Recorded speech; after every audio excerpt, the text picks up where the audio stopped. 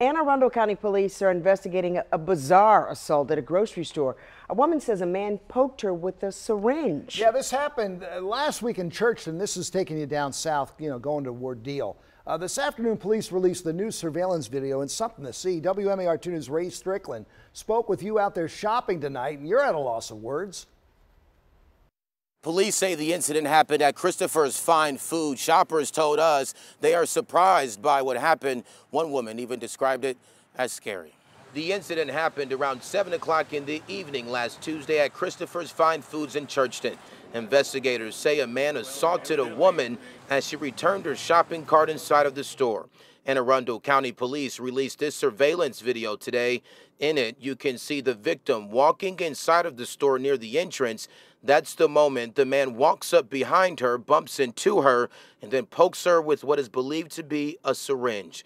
Police now want you to take a good look at this screenshot of the suspect in hopes you may recognize him. Yeah, it is a little scary that there are people like that. The victim received medical attention, but her condition is unclear. It's unfortunate for the person that, that it happened to, and I'm hoping that they find the person that did it. Victoria Fulcher has shopped at the store for years. She says she's shocked by what happened, adding this is typically a safe area.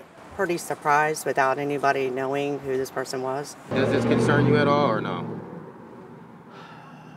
Yeah, yeah, it does. But the shoppers we spoke to say their concerns won't stop them from shopping at the store. Fulcher says because things like this can happen anywhere, no matter how safe. Her advice is to always stay vigilant. All I can say is just be more aware of what's going on in your surroundings. And I spoke to the manager here at the grocery store, and he said the store cannot comment about the incident. If you know who the man is in that surveillance video, Anne Arundel County Police want you to give them a call. In Anne Arundel County, Ray Strickland, WMAR 2 News.